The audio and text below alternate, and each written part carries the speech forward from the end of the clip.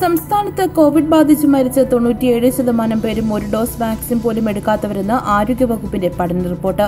കഴിഞ്ഞ രണ്ടര മാസത്തിനിടയിൽ സംഭവിച്ച കോവിഡ് മരണങ്ങൾ സംബന്ധിച്ച് നടത്തിയ പഠന റിപ്പോർട്ടിലാണ് ഇക്കാര്യം വ്യക്തമാക്കിയിരിക്കുന്നത്.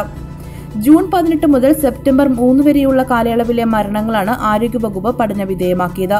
ഇതനുസരിച്ച് കോവിഡ് ബാധിച്ച് മരിച്ച ഒൻപതിനായിരത്തി ഒരുന്നൂറ്റി തൊണ്ണൂറ്റി അഞ്ച് പേരിൽ എണ്ണായിരത്തി ഇരുന്നൂറ്റി തൊണ്ണൂറ് പേരും വാക്സിൻ ഒരു ഡോസ് പോലും എടുത്തിരുന്നില്ല. മുഖ്യമന്ത്രി തന്നെ നേരത്തെ വ്യക്തമാക്കിയത് അനുസരിച്ച് ഒൻപത് ലക്ഷത്തിലേറെ പേർ വാക്സിൻ എടുക്കുവാൻ വിമുഖത കാട്ടുന്നു എന്നാണ്. നിലവിൽ കോവിഡ് ഗുരുതരമായി തീവ്രപരിചരണ വിഭാഗത്തിലും വെന്റിലേറ്ററുകളിലും കഴിയുന്ന തൊണ്ണൂറ്റിയെട്ട് ശതമാനം പേരും ഒരു ഡോസ് വാക്സിൻ പോലും എടുക്കാത്തവരാണെന്നും ആരോഗ്യവകുപ്പിന്റെ പഠന റിപ്പോർട്ടിൽ പറയുന്നു.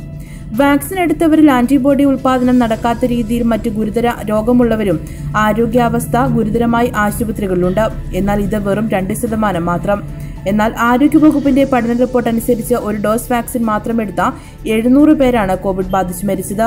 രണ്ട് ഡോസ് വാക്സിൻ എടുത്ത ഇരുന്നൂറ് പേരും മരിച്ചു. ഇവരിൽ ഭൂരിഭാഗത്തിനും പ്രമേഹം രക്തസമ്മർദ്ദം ഹൃദ്രോഗം വൃക്കരോഗം ഉൾപ്പെടെ ഗുരുതര രോഗങ്ങൾ ഉണ്ടായിരുന്നുവെന്നാണ് മരണത്തിലേക്ക് നയിച്ചതിന് കാരണമായി ആരോഗ്യവകുപ്പ് പറയുന്നത്. അതേസമയം ഇക്കഴിഞ്ഞ രണ്ടര മാസ കാലയളവിൽ ഏറ്റവും കൂടുതൽ മരണങ്ങൾ റിപ്പോർട്ട് ചെയ്തത് തൃശൂരിലാണ്. ഇവിടെ മരിച്ചവരിൽ ആയിരത്തി ഇരുപത്തി ഒന്ന് പേരും ഒരു ഡോസ് വാക്സിൻ പോലും എടുത്തിരുന്നില്ല. ഏറ്റവും കുറവ് വയനാട് ജില്ലയിൽ നൂറ്റി മുപ്പത് പേരാണ് ഒരു ഡോസ് വാക്സിൻ പോലും എടുക്കാതെ ഇവിടെ കോവിഡ് ബാധിച്ച് മരിച്ചത്.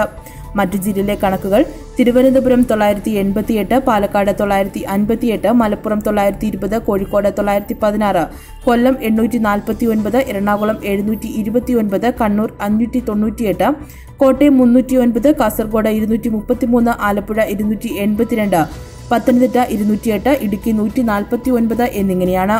ന്യൂസ് ഡെസ്ക് പ്രൈം ന്യൂസ് പത്തരമാറ്റിൻ പൊന്നും പുടവയും. Sreevatsam silks and jewellers Pandalam Haripad Kulanada Konni Pathanamthitta.